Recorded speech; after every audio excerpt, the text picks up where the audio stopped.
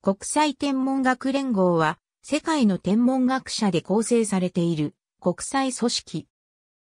国際学術会議の下部組織となっている。パリ天体物理学研究所の入り口。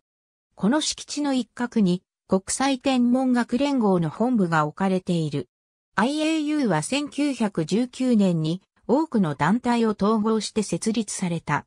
最初の会長にはフランスのバンジャマンバイオーが選出された。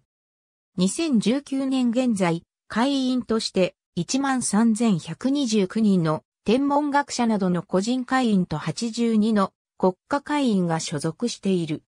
本部の事務局はフランスのパリのアラゴ通りにある。恒星や惑星、小惑星、その他の天体とその地形に対する命名権を取り扱っており、その命名規則のために専門作業部会が設けられている。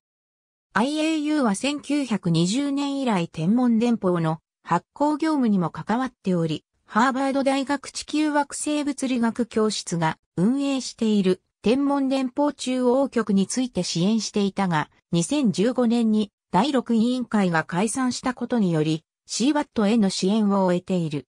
国際天文学連合の活動の多くは、天文学の分野ごとに分けられた8の分科会を通じて行われる。